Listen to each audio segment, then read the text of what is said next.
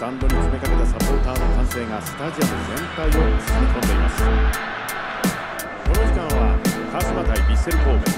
こちらをご覧いただきます。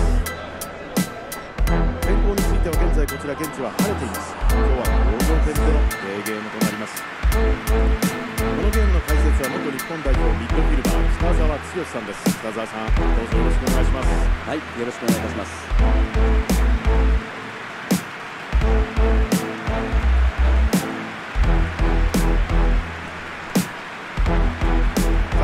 この試合は442のシステムです。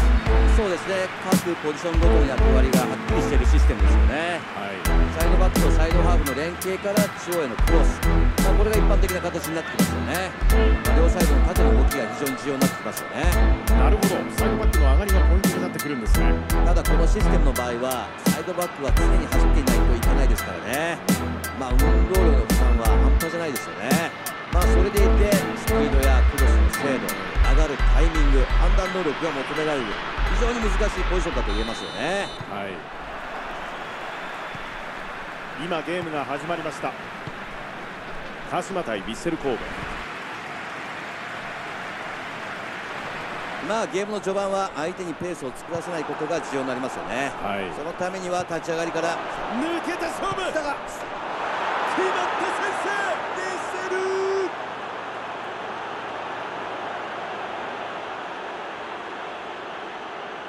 これは見事なカウンターからのフィニッシュ。北澤さんどうご覧になりますか？いや素晴らしい展開でしたし迷いがなかったですよね。相手の守備のブロックを切り崩すボール運びでしたよね。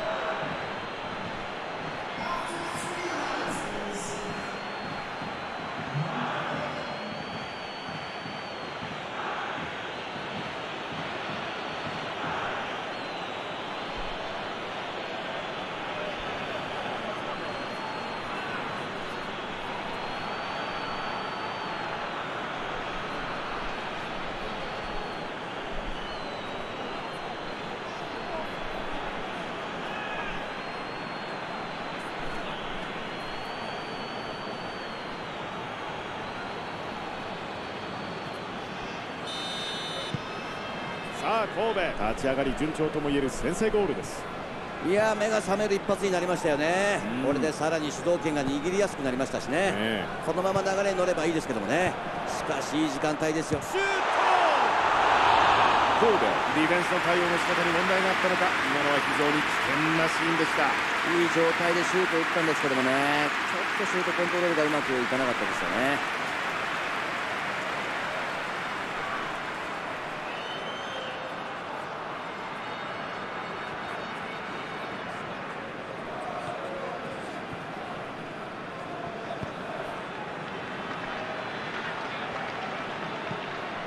裏へ届くか？井上。長いボールを振ります。長戸スペースを狙う。シュート大きい。いやーキーパー素晴らしいですね。いい仕事しましたよね。ミサオ。ここで収まる。縦へのボールさあカウンタースピードを上げたいところ。裏を狙っていきます。ボールがつながる。さあカウンターのチャンスになります。酒井流れを止めます。神戸ボール。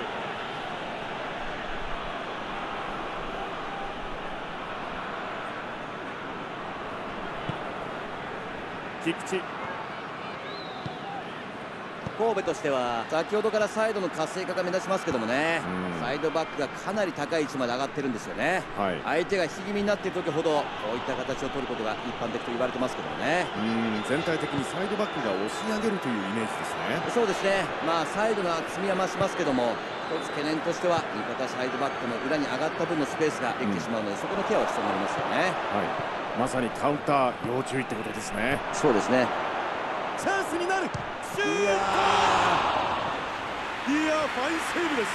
そうですねディフェンダーは完全にキーパーに助けられましたねこれ。この難しいボールによく触りました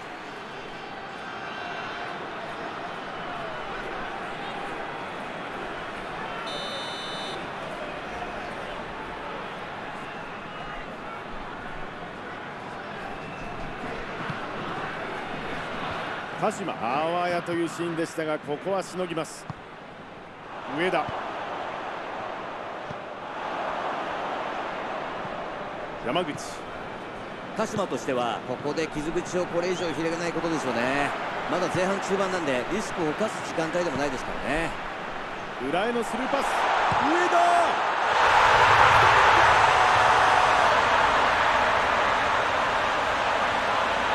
きましたいいですね熱い一発になりそうですね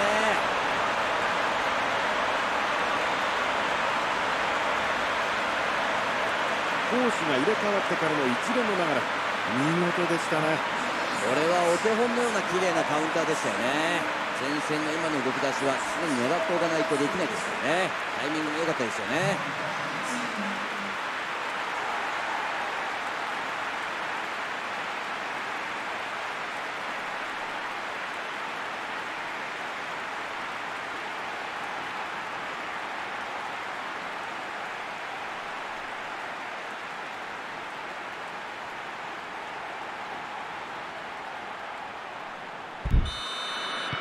今日のゲーム見応えがさらに出てきました。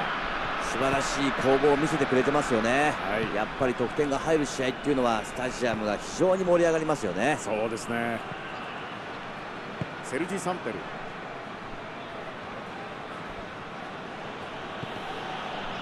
ボールを下げてリズムを作るか。さあつながるか。来たシュート。来た勝ち越し。ヴィッセル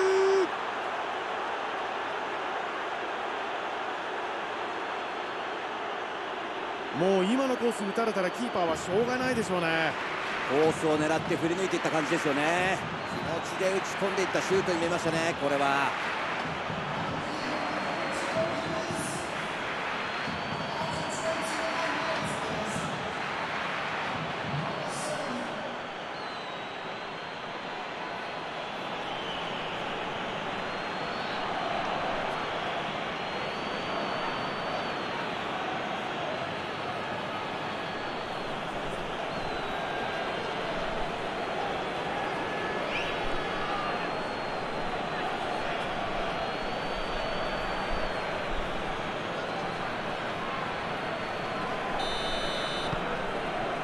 神戸ここでリードを奪いました。サオ。裏のスペースを狙う。古橋。さあここでカウンター。出るか？もうこれいいでしょ？上げてくる。どうだ？土井から長いボール縦へ。この位置で受ける。このパス。このパスが抜ける。さあ勝負だどうだこのシュート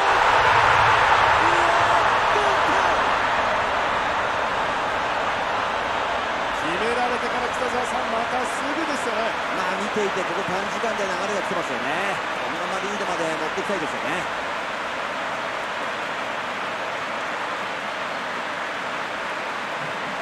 上田見事なドリブルでした。シュート前に勝負ありでしたね。そうですね。しっかりゴール前に持ち込んでからのシュート。非常に冷静でしたよね。シンプルなだけに非常に有効な攻撃だったんじゃないでしょうかね。上田今日2点目のゴールです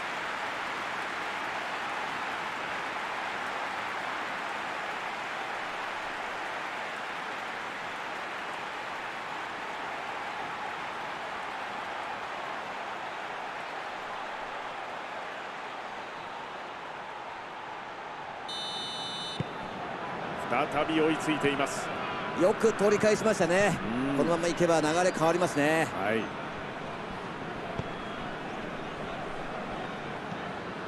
セルジ・サンペル。山口。ス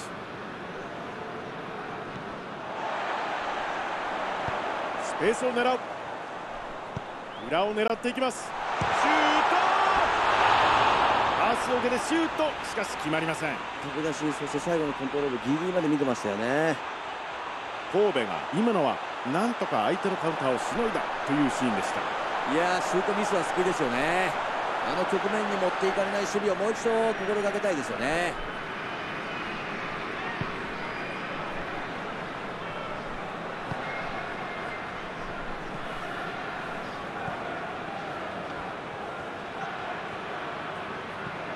土井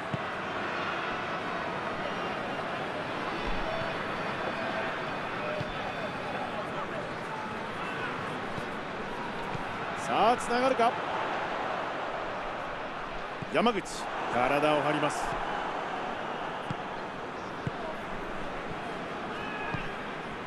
酒井。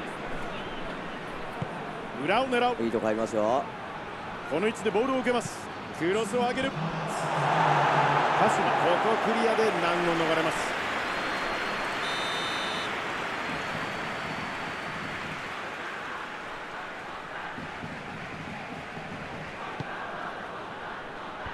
ボールはクリア。シュート！さらに来る。くれた！拾いたい！白崎危ないシーンでしたがここはクリアの対応。クロス！危ない。前半終了です。非常に動きのあるハーフとなりました。点の取り合いの様相を呈しています。いやー北澤さんゴールシーンが目白押しとなった前半。激しかったですね。いや素晴らしい前半でしたね。お互いに特徴を出し合った前半だと思いますね。でもまだ同点ですからこの後も注目ですね。鹿島対ヴィッセル神戸。前半を終え2対2の同点で折り返しています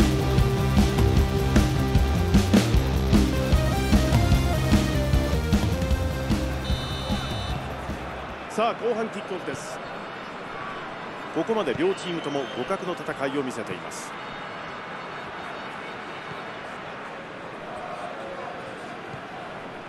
合計のボール。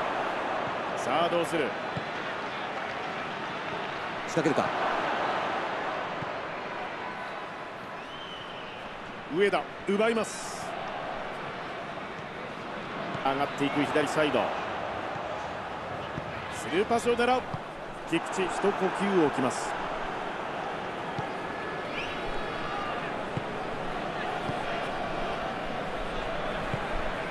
セルジ・サンペル。縦にボールを送ります。町田。さあカウンターを仕掛けます。裏へのスルーパス。シュー。ト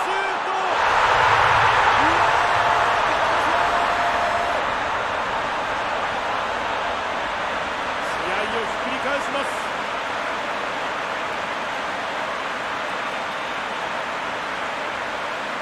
これはギリギリでしたね。ライン際での駆け引きからゴールが生まれました。そうですね。出し手と受け手の一つ積極的に仕掛ける姿勢がこのゴールを生み出しましたよね素晴らしいハットトリックです。上田。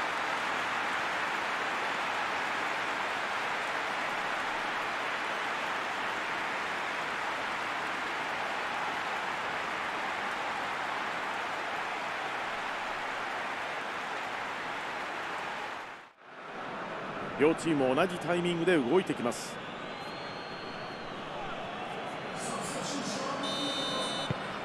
このアドバンテージをどう生かしてくるんでしょうか。菊池。山口。鹿島としてはもう1点取るぞっていうムードをねどれだけこうチーム内で声を掛け合っているかこの辺がポイントでしょうね。スルーパス。あいいボールだ。頭できた。セーブいや北澤さんこれナイスセーブでしたね。いやよく止めましたね。ファインプレーですよね。好セーブを見せました。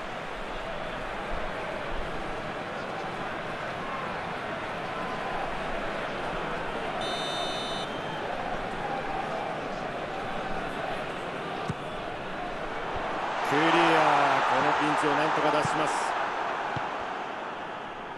神戸としては先ほどからもう前線に選手が残ってますよね。はい。守備の数的不利なリスクを背負ってでも点を取りたいんでしょうね。そうですね。カウンターに対するレスポンスは早いですよね。早いですよね。また相手ディフェンダーを低い位置に残せるメリットがありますからね。はい。大きく縦へ。裏へ届くか。上田スルーパスからのチャンスでしたがこれは決まりませんでした。足元ではなくてやはりこう少しスペースに出していくボールがね非常に効果的ですよね。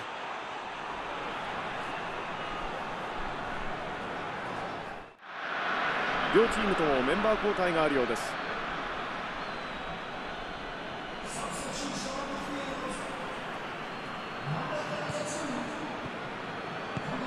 セルジ・サンペル菊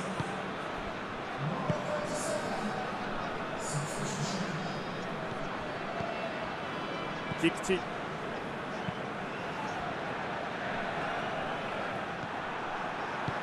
レオシルバから大きく縦どうする？さあシュートまでいけるか？ミサオ本日ワンアシストです。アーチのようなパス。これをカットします。犬飼一旦戻します。長いボール縦へ。サイドを使います。スペースを狙った。ここはキーパー処理しました。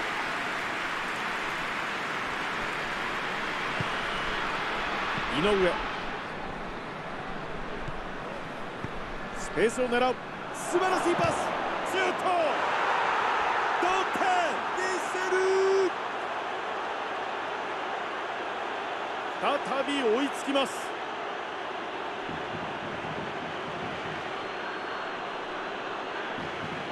今のはキーパー届かないコースに鮮やかに決めていきました。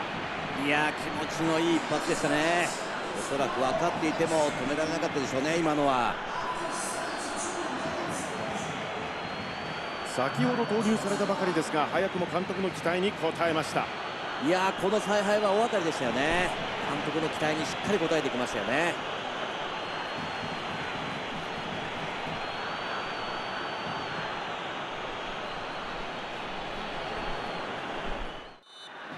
さあ共に選手交代があるようです。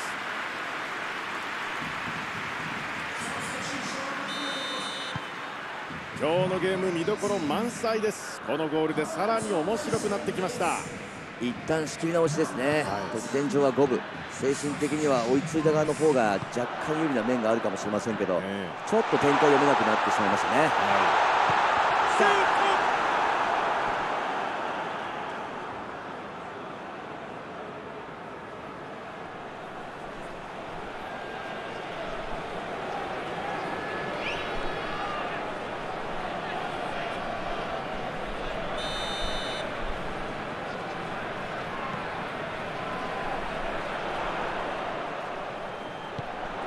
さあ遠藤シュートカズマビッグチャンスものにできません両チームともなかなかこうゴールをこじ開けるのは難しい状況ですよね。こういった緊迫した状況は非常に見応えありますよね。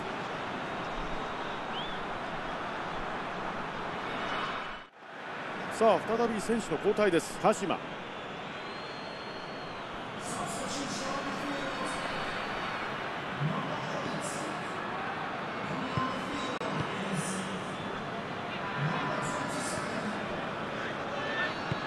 大きく縦へ神戸少し消極的に見えます。セルジ・サンペル。小林縦へのボール。中坂へ。これはつながりません。スルーパスを出す。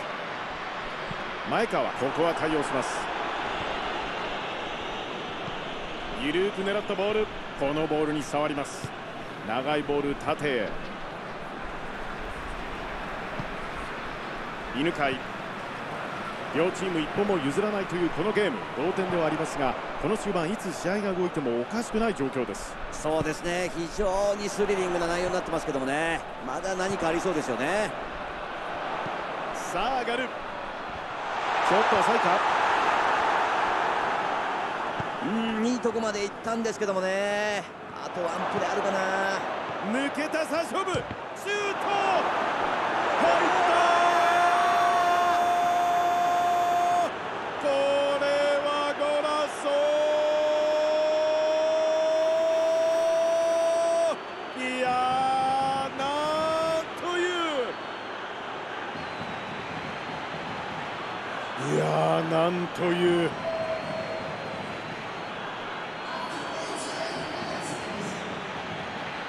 これ打つモーションまでの前が北澤さん。とにかくキレキレでしたね。突破して自分が打ちやすい形に持っていく。これができればゴールの確率も上がってきますからね。基本的なことですけどもこれができるっていうのはすごいですよね。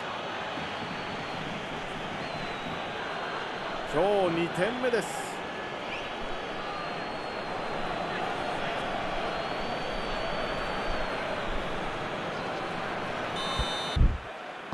神戸逆転。そしてもうほとんど時間がありません。いやここまで競り合ってこの時間帯でゴールですよね、はい、ゲームを決定づける一本になるかどうかですよね。そうですね。キーパーから前線へ。佐々木。ふわっと裏を狙う。これは合いません。長戸裏を狙っていきます。この位置で受ける。スルーパス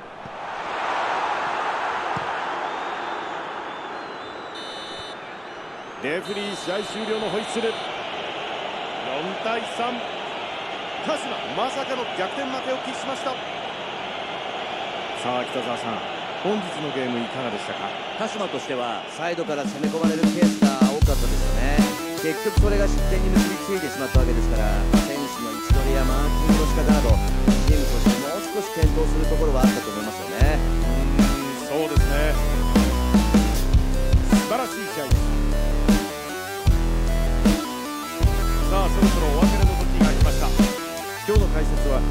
剛さんでした北澤さん今日はどうもありがとうございましたありがとうございました。